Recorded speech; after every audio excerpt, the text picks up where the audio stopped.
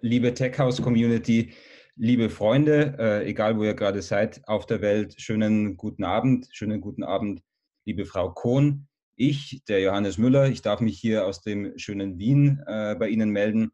Äh, Frau Kohn dürfen wir in Zürich begrüßen. Frau Kohn, schönen Abend, schön, dass Sie heute sich Zeit genommen haben, um mit uns ein bisschen mehr über das Thema Smart Data und Behavioral Science zu sprechen. Frau Kohn, Sie haben jahrelang äh, im Finanzbereich gearbeitet. Sie sind selbst Unternehmerin und haben sich jetzt einem Thema gewidmet, das wir gerade in der aktuellen Situation der Corona-Krise für enorm spannend erachten. Vielleicht jetzt gerade im Moment auch noch die, die Brücke noch relevanter spannen können. Ähm, aber be bevor wir einsteigen, möchte ich Sie einfach mal fragen, wir reden den ganzen Tag über Technologien. Wir haben jetzt ein Thema äh, genommen mit Behavioral Science, das ja auch eine enorme wissenschaftliche Basis hat. Vielleicht können wir da mal anfangen. Wo liegen denn letztendlich die Wurzeln unseres heutigen Themas? Wo kommt das Thema Behavioral Science und vor allem dann auch die Kombination mit neuen Technologien wie künstliche Intelligenz her? Uh, Behavioral Science ist die Wissenschaft und nochmal vielen herzlichen Dank für die Einladung und willkommen an alle. Uh, ist die Wissenschaft, die sich mit den Aktivitäten uh, von Menschen auseinandersetzt. Behavioral Economics wurde das erste Mal von Adam Smith im Jahre 1759 erwähnt. Und das sind dann die menschlichen Aktivitäten, die mit Wirtschaft, mit Kauf, mit allem dem, was geschäftliche Aktivitäten zu tun hat. Und äh, Professor Saltmann von der Harvard Business Universität hat gesagt, 95 Prozent von unseren Entscheidungen werden in dem unbewussten Teil äh, des Gehirns gemacht. Also es ist eigentlich wirklich für uns alle wichtig, äh, wie wir, wie unsere Kunden denken, äh, was unsere Kunden bewegt. Äh, die Wissenschaft äh, hat, wie wir gesagt haben, eine ganz, ganz hunderte Jahre lange Tradition. Äh, die Hochtechnologie ist das, was der Wissenschaft, würde ich sagen, Flügel gegeben hat und sie für uns in unseren Zeiten heute sehr wichtig und anwendbar macht. Nicht nur in der Wirtschaft, sondern auch in der Politik. Also sowohl Präsident Obama als auch George Osborne haben begonnen, Behavioral Economics, Behavioral Science äh, in, in die Regierung zu bringen. Richard Thaler hat den Nobelpreis äh, dafür gewonnen und äh, wir sind hier heute, um, glaube ich, zu besprechen, wie sehr und auf welchen Gebieten uns diese Synergie von Wissenschaft und Hochtechnologie im Geschäft helfen kann. Vollkommen richtig. Jetzt ist natürlich immer die Frage, wenn wir Themen wie Behavioral Economics und Behavioral Science hören, das eine Thema ist natürlich Daten zu sammeln und historische Daten auszuwerten. Aber gerade in der heutigen Zeit, auch in der jetzigen Situation, möchte man ja gerne Sachen wissen, bevor sie passieren. Wie kann uns da dieses, dieses Zweigespann aus Wissenschaft und Technologie helfen?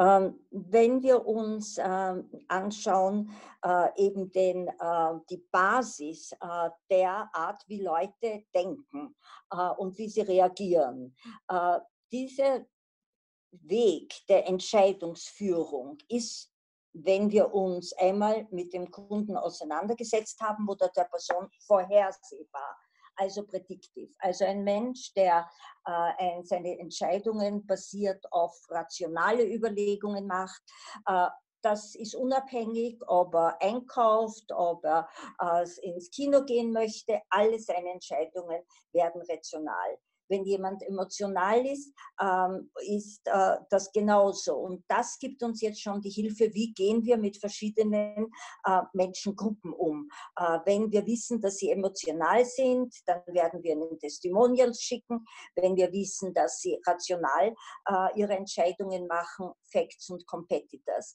Und es gibt etwas, das nennt sich Stability of Personality Traits, das Charakteristiken von Menschen äh, sind eigentlich für Jahre gleich außer es passieren irgendwelche einschneidenden Verhältnisse, das ist der Coronavirus. Also ich werde nachher auf das noch zurückkommen. Aber im Prinzip sieht jeder Mensch auch diese Krise durch seinen eigenen Filter. Also jemand, der sophisticated ist, sieht es durch den Filter der Sophistication. Äh, jemand, der äh, value-oriented ist, durch das. Also diese äh, Eigenschaften erlauben uns, die zukünftigen Reaktionen auf Produkte, auf ähm, Communication vorauszusehen und somit sowohl äh, die Produkteauswahl, die Communication Channels äh, richtig auszuwählen, um wirklich einen Impact bei unserer Audience zu kreieren. Ja, ich habe mich ja auch schon im, im, Vorfeld ein bisschen mit dem Thema BestFit, äh, das ja letztendlich auch die Company ist, die diese Analysen ähm, durchführt, beschäftigt.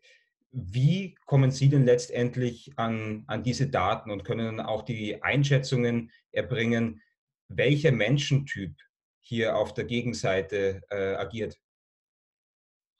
Ähm, wir haben hier eigentlich eine Kombination von AI, Artificial Intelligence und HI, Human Intelligence, äh, verwendet und das Ganze in Technologie eingebettet. Äh, wenn ich vielleicht daran erinnern darf, dass AI ist Artificial Intelligence und Artificial ist ein lateinisches Wort, das man-made heißt. Also wir haben alles das, was äh, ja Jahrhunderte äh, von äh, psychologischen Studien sind, eingebettet in äh, das, äh, was die heutige Geschäftserfahrung ist, also our current human intelligence und das Ganze dann, wie Sie sehen werden, äh, in einen charmanten gamified äh, Rahmen eingebaut. Warren Buffett hat schon gesagt, the market pays you better for entertainment than education. Also was uns wahnsinnig wichtig ist und was die hervorragenden Resultate bringt, äh, die wir äh, äh, unseren Kunden liefern können, ist die Tatsache, dass wir mit charmanten und indirekten fragen. Wenn man jemanden direkt fragen würde, are you sophisticated? Die meisten Leute werden ja sagen. Also es ist lange bewiesen worden, dass um wirklich die Leute zu verstehen, äh, muss man sie, muss man indirekte Fragen stellen, um Biases zu vermeiden. Und wir werden hier an einigen Fragen sehen, äh, wir nehmen einen charmanten Approach, wir nehmen indirekte Fragen, wir geben den Usern eine fantastische User Experience. Und dahinter sind sophisticated Algorithmen, die auf jede Antwort einen spezifischen Wert äh, zuteilen. Und der erstellt dann das Profil. Und diese Information wird eins zu eins an unsere Kunden weitergegeben oder natürlich auch in Clusters. Okay. Ich habe gerade gemerkt, äh, dass der letztendliche Link, ähm, wir wollten jetzt gerade kurz den, äh, den Questionnaire zeigen, durch den wir dorthin kommen, der wird jetzt gerade in unserer hochsophistizierten technologischen Welt gerade nicht unterstützt. Aber letztendlich, vielleicht können wir da noch mal ein, zwei Minuten drüber sprechen. Es werden vor allem Questionnaires ausgefüllt. Sie haben gerade vorhin gesagt, das Thema Gamification, das das Erlebnis äh, der Informationsweitergabe ist enorm wichtig. Vielleicht können wir da noch kurz drauf eingehen. Sicher. Äh, ich glaube, wir, wir, schmunzeln alle schon ein kleines bisschen, wenn wir uns äh, diese Seite anschauen. It's fun, it's fast, it's based on Nobelpreis Winning Research. Klick hier. Also so beginnt die Reise. Äh, und dann kommen Fragen wie, Sie bekommen eine Einladung, auf den Mond zu fahren. Wie ist Ihre Reaktion? Gret, wann gehen wir? Äh, ich muss mir das überlegen. Nein, danke, ich lebe lieber. Also das ist eine typische Frage, womit wir Risiko abmessen. Äh, um zu verstehen, äh, was die Preissensitivität eines Kunden ist, wäre eine typische Frage, Sie sehen etwas, was Ihnen wahnsinnig gut gefällt. Was machen Sie? Kaufen Sie es? überlegen Sie sich, ob Sie es brauchen, überlegen Sie sich, ob Sie es sich leisten können. Und jede Seite ist normalerweise animated, springt automatisch weiter und am Ende vom Allgemeinen zwischen 12 und 15 Fragen kommt dann ein Profil, äh, das äh, charmant wahr ist, charmant und das dann mit weitergeleitet werden kann an verschiedene Freunde oder Bekannte. Also es ist eine, ich würde sagen, Lifestyle-Reise, äh, die den Kunden einen Spaß macht und die eben diese Predictive Information über Kundenbehavior, äh, Decision Style, aber auch Priorities und Präferences äh, für unsere äh, Geschäftspartner zugänglich macht. Gibt es hier ganz spezielle Industrien, die, die hier letztendlich im Lead sind und die diese Daten und diese Insights nutzen? Oder kann man grundsätzlich sagen, dass die Insights, die hier generiert werden, über Industrien hinaus angewendet werden können? Wenn ich jetzt gerade an, an Themen wie Produktentwicklung denke. Äh, es ist für jeden wichtig, äh, Kunden zu verstehen, äh, der Retail-Kunden hat. Also es ist ein B2C-Model oder ein B2B2C, falls es Agenten oder Vertriebspartner in der Mitte gibt. Was hier sehr, sehr wichtig ist zu verstehen, ist, dass eigentlich heute jeder Kunde berieselt wird mit Angeboten und es besonders wichtig ist, den richtigen Ton zu finden, aber auch für dasselbe Produkt andere Produktkategorien Charakteristiken hervorzuheben. Also das ist äh, für äh, Next Best Product, würde man sagen. Viele Leute verwenden uns zum Onboarding, also Lead Generation. Das heißt, hier würden wir nach den zwölf Fragen äh, sagen, wo können wir Ihnen Ihr Profil hinschicken? Albert Einstein hat schon gesagt, äh, äh, ich habe kein spezielles Talent, ich bin nur unglaublich neugierig.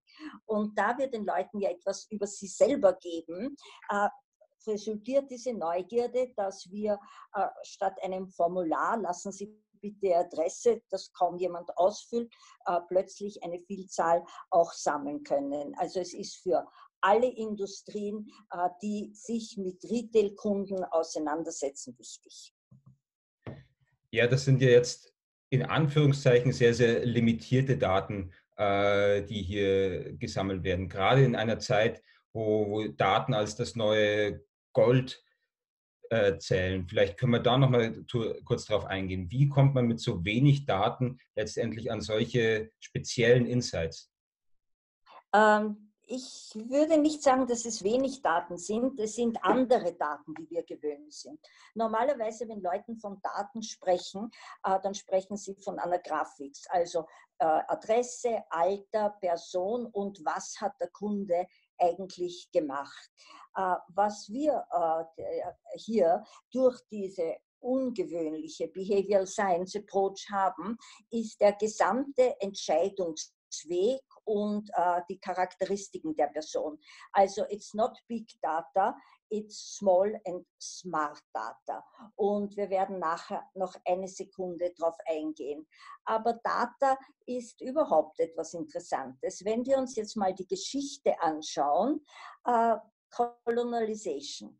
Colonization war, wenn England oder Frankreich äh, ihre Kolonien erobert hat, hat Rohmaterial von dort gebracht, hat es verarbeitet und dann verkauft. Also die Leute, die praktisch das Rohmaterial geliefert haben, haben davon einen sehr, sehr kleinen Benefit gehabt. Dann ist die Zeit der Data Colonization gekommen. Und hier hatten wir Internet-Users, äh, die durch äh, ihren Navigation auf Websites, durch die Tatsache von Cookies oder anderen Instrumenten. Und hier ist diese Industrie in der Hand eigentlich vieler amerikanischen Gesellschaften, Google, Facebook, äh, die sammeln diese Daten und haben sie dann begonnen äh, dazu zu verwenden, um das als Ads oder als Daten an Gesellschaften zu verkaufen. Und das wurde dann wieder auf den User losgelassen. Äh, jetzt haben wir in den letzten Jahren Entwicklungen gehabt, in den letzten paar Jahren, die sich generell GDPR nennen, Privacy Rules. Und diese, äh, ich würde sagen, äh, Berieselung von, von Kunden, ohne dass sie einen Benefit davon haben, geht leicht langsam zu Ende. Und wir kommen in eine Zeit, wo wir von Data Democratization sprechen. Sehr spannend. Sie haben es gerade vorhin äh, angesprochen, die Berieselung von, von Kunden. Ähm, man kann ja jeden Tag sich endlos Videos, Sie haben gerade von den diversen Seiten gesprochen, Videos, Content äh, sich, sich näher bringen. Wie unterscheiden sich denn dann letztendlich die Inhalte, mit denen BestFit überzeugt? Ähm, ich glaube, das, was wichtig ist, ist, dass man in der gesamten Value Chain, in der gesamten Beziehung äh, aufpassen muss, dass der Kunde wirklich etwas davon hat. Wir rufen das Quid pro Quo. Also wir äh, erstens, äh, der Internet-User äh, gibt uns die Information, freiwilligerweise gibt es, äh, gibt es uns und äh, wir haben Completion Rates, äh, wir kommen dann noch darauf zu sprechen, von über, in, im Durchschnitt über 90 Prozent. Also hier hat schon einmal gleich der Kunde eine angenehme Experience. Und dann ist es so, dass wir die Information, die wir sammeln, an unsere Kunden, Geschäftskunden weitergeben um die äh, Experience für den Kunden zu verbessern, um ihm ein personalisiertes Service zu geben, um ihm nicht viele Informationen an den Kopf zu werfen, sondern das, was ihm wirklich interessiert. Und somit tun wir eigentlich äh, hier dem Kunden ein verbessertes Service, eine bessere Produktauswahl, äh, wirklich eine, eine Bespoke, würde ich sagen, Service anbieten. Und das ist auch noch einmal eine Demokratisation, nicht nur das Quid pro Quo, aber leider ist es so, dass extraordinäre, sehr gute Service äh, sehr oft High Net Worth Individuals in Banken oder halt wichtigen Kunden äh, reserviert ist, die viel Geld ausgeben. Und dass der normale Durchschnittsbürger äh, ein nicht so gutes oder oft gar kein Service gibt. Ich meine, heute in Europa unter 250.000 äh, ist ein Konto für eine Bank nicht profitabel. Was wir geben können unseren Kunden und unseren Geschäftspartnern ist die Möglichkeit, einen kleinen Kunden hervorragend und personalized zu bedienen und der kann ja vielleicht morgen ein großer Kunde werden. Ja, Sie haben es gerade vorhin gesagt, äh, das Thema Personalisierung. Ähm, wie gesagt, wir haben schon im Vorfeld kurz darüber gesprochen und ich war auch schon äh, im Vorfeld davon begeistert, was hier für Completion Rates und wie, wie gebannt die Teilnehmer dieser Umfragen letztendlich dann auch durch die unterschiedlichen Fragebögen durchgehen. Vielleicht können Sie da ein, zwei Worte dazu sagen, weil hier sehen wir hohe Prozentzahlen, hier sehen wir äh, Click-through-Rates, von denen wahrscheinlich der ein oder andere News-Anbieter nur träumen würde? Ähm, ja, also das Schöne ist, die sind aufgebaut auf über eine halbe Million von Questionnaires, Erfahrungen, die wir in äh, über acht Ländern gesammelt haben. Also das ist wirklich ein, ein getestetes äh, Resultat. Ähm, die Tatsache ist, es gibt von PricewaterhouseCoopers Coopers jetzt eine äh, sehr ausführliche Studie, die wir jedem schicken können, wenn er Lust hat, über ROX, Return on Experience. Experience ist ein Produkt geworden. Und wenn wir den Kunden Experience geben, dann kreieren wir Brand Loyalty, äh, wir kreieren äh, äh, Viral Marketing und erreichen sehr viele Ziele eines von den Dingen, die ich dazu sagen muss, diese Resultate sind Pre-Corona-Crisis. Also wir haben in, in, äh, einem, äh, in, äh, mit einer HMO, einer Versicherungsgesellschaft zurzeit, einen, nach einem sehr erfolgreichen Piloten ein Projekt, wo die Gesellschaft das als Happy Birthday Card rausschickt. Alles Gute zum Geburtstag. Wir haben ein Geschenk für Sie. Ihr Personality Selfie. Die Leute freuen sich. Es gibt Blogs, äh, Facebook, das ist, das, die denken an uns, das ist charmant. Und es ist eine enorm effiziente Art, äh, Daten zu sammeln. Äh, die, diese Zahlen sind Pre-Crisis. Wir haben momentan 30 Prozent höhere Click-Through-Rates, wie wir je hatten. Und dazu muss ich noch sagen, das wird immer wichtiger, weil niemand geht aus dieser Krise genauso raus, wie er reingekommen ist. Und wir müssen sagen, äh, Big Data und Old Data äh, werden nicht mehr so wertvoll sein oder usable sein, wie sie in normalen Zeiten waren. Äh, jede Firma müsste jetzt neue Segmente machen äh, und müsste jetzt wirklich sich überlegen, äh, meine Kunden haben sich geändert, was wollen sie und wie soll ich mit ihnen umgehen. Ja, sehr spannend. Sie haben es gerade angesprochen, die, die Krise, die aktuelle Situation ver, verändert vieles. Aber vielleicht können wir da noch einen kurzen Side-Step machen. Letztendlich ist es ja so, dass mit Sicherheit auch gerade vor der Krise nach wie vor eine, eine große Technologie-Skepsis auch da war. Vielleicht können Sie da drauf eingehen, weil das natürlich auch gerade in, in dieser Anwendung ein, ein hochtechnologisiertes Produkt ist, welches äh, hier zum besseren Verständnis, hier zur Personalisierung eingesetzt wird. Äh, zum Glück äh, ist es hochtechnologisiert, aber unglaublich handling einfach. Es ist ganz einfach ein Link, den eine Gesellschaft äh, per SMS verschickt. Also eines von den Dingen, auf die wir ziemlich stolz sind, ist, dass wir eine unheimlich komplizierte Backend haben mit äh, proprietären Algorithmen, aber dass der Umgang sowohl für den User wie auch für die Gesellschaft unglaublich einfach ist. Und wieder auf Corona zurückzukommen, äh, es, ist, es ist herzzerbrechend, was in manchen Ländern vorgeht. Äh, es ist schmerzvoll in anderen und es gibt eigentlich nur einen Winner und das ist digital. Also ich glaube, dass jetzt jede Gesellschaft und jeder, äh, jede Person in jedem Alter äh, weiß, dass digital braucht man ganz einfach. Vollkommen. Ähm, und hier sehen wir, glaube ich, auch, äh, wenn wir uns diese Grafik anschauen, dass gerade die Ergebnisse dieser digitalen Themen für enorm viele Outputs genutzt werden. Der User, der sein Profil äh, komplettiert und dann letztendlich personalized, wie Sie es gerade vorhin gesagt haben, weitergeleitet wird. Ähm, das ist wichtig. Wir wollen äh, eigentlich, so wie wir gesagt haben, dem Kunden ein besseres Service geben. Und äh, da hilft uns wieder die Technologie unglaublich auf die Schritte.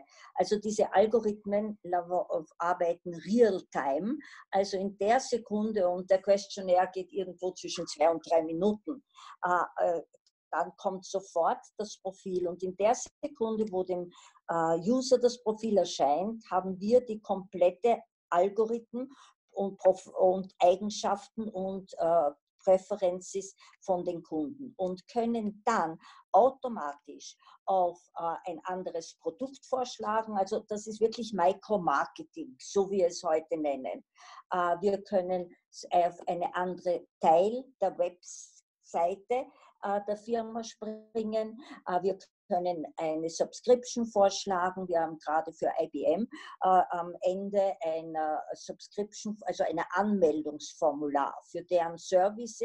Und die haben gesagt, so viel, sowas haben sie noch nicht gesehen, wie das funktioniert. Es kann daraus entstehen natürlich Clusters die man dann am Ende einer Periode für äh, Targeted Campaigns verwenden kann, zum Beispiel eine Discount-Campaign zu machen.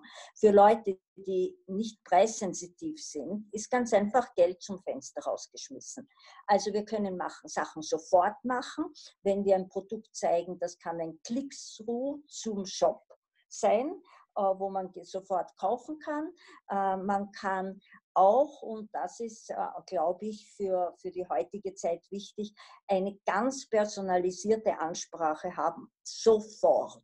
Also unsere Algorithmen, wir würden hier, was man rechts sieht, äh, die verschiedensten Texte für dasselbe Transaktion, da geht es, glaube ich, um eine äh, ähm, Reiseversicherung, alle Texte vorbereiten. Und dann würden die Algorithmen real-time äh, den geeigneten Text rausziehen. Also wenn wir 15 Fragen haben, wer könnte das bis zu 2054 verschiedene Texte sofort geben, die das Produkt so anbieten, äh, wie wir das Gefühl haben, der Kunde es versteht, hören möchte und kaufen möchte.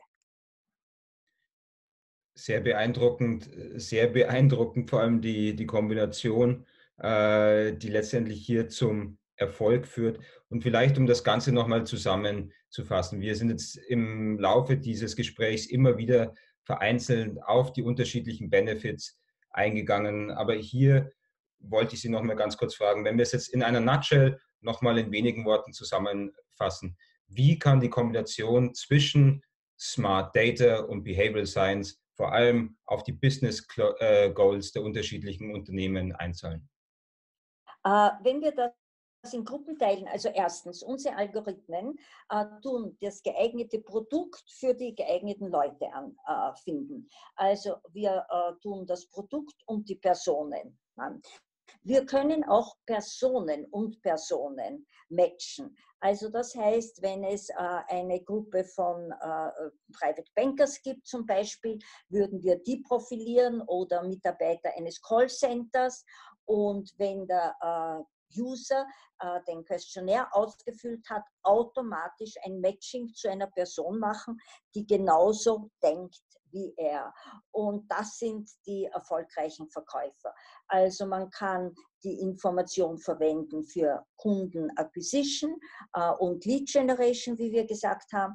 Äh, eine andere Harvard-Studie sagt, dass äh, Client Retention, 5% von Client Retention äh, kann 100% des P&L äh, verbessern. Ähm, Upselling und Cross-Selling, wie komme ich von einem Produkt zum anderen? Communication. Communication ist vermutlich eine der wichtigsten Pilaster, weil alles ist Communication. Nicht nur CRM, nicht nur der Next Best Offer, nicht nur Dynamic Pricing, aber auch äh, ein Produkt praktisch, was man anbietet, ist Communication. Äh, wir haben vorher gesprochen von Micromarketing. Eigentlich nennt man das Neuromarketing. Und wieder, es geht darum, wenig Kommunikation, die richtige zur richtigen Zeit. Also how, who, what, when. Und auf jeder Seite, äh, die ein User sich anschaut, ist natürlich der Brand äh, drauf. Und äh, für Firmen, die auf der Börse sind, die wissen, dass Innovation, the, brand, the image of innovation, the image of being different, wir sind speziell und wir sind speziell äh, für Sie da mit einem Personalization Offer. Das ist, was heute ein großer Teil von Brand Value ist.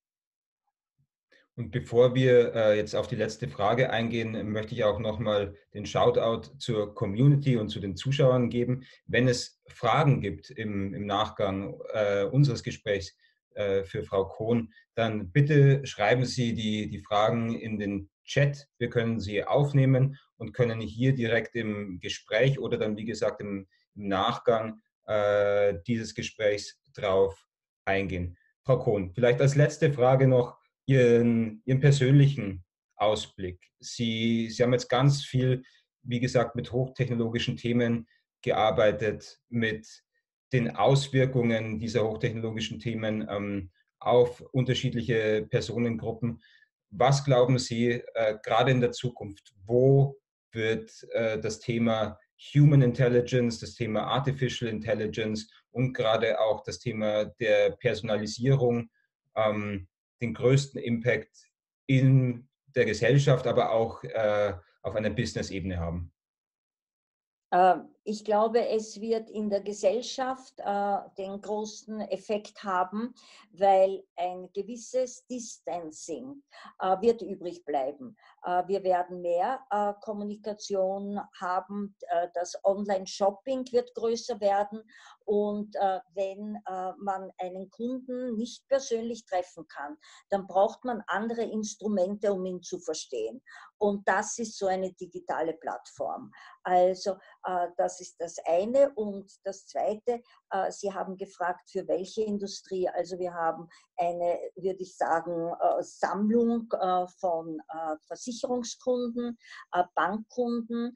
Die deutsche Henkel-Gruppe hat uns als Partner für Digital Innovation ausgesucht. Wir haben Kunden im HR-Sektor. Hermes ist ein Kunde von uns. Also industrieneutral, die Firmen, die Industrien, die diese Micromarketing, die diese Smart Data äh, in ihr Business Model einbauen, werden die zukünftigen Winner sein. Das sind doch schöne Schlussworte. Es gibt keine Fragen im Moment von der Audience. Wenn im Nachgang, wie gesagt, Fragen aufkommen, bitte nicht zurückhalten. Hier sind die Kontaktdaten ähm, von BestFit, an die man sich wenden kann, an die man sich wenden darf. Man ist sogar angehalten, sich mit Fragen und, äh, und Herausforderungen an, an BestFit, an Frau Kohn und das Team zu wenden. Frau Kohn, ich darf mich nochmal ganz herzlich bedanken für Ihre Zeit am heutigen Abend. Viele Grüße nach Zürich und bleiben Sie gesund. Danke vielmals.